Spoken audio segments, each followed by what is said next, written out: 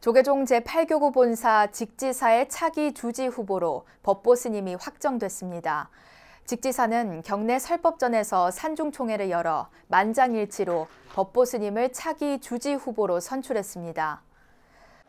우리 문도들하고의 관계를 화합적으로 잘 이끌어 갈 거고 두 번째는 템플 스테이를 강화시켜서 신도 포교에 역점을 두겠습니다.